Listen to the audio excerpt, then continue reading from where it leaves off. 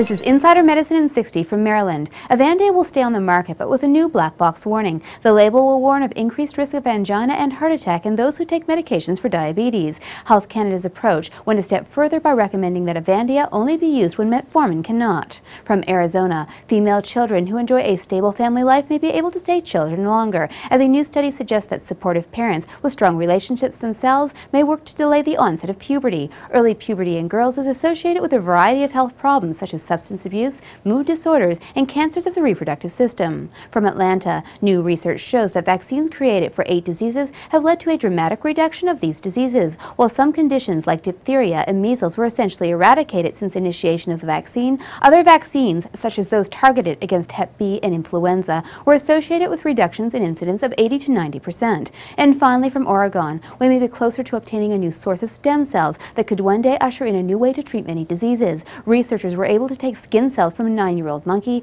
place them in embryos, and reprogram the cells to clone the original monkey and create a line of stem cells. For Insider Medicine in 60, I'm Dr. Susan Sharma.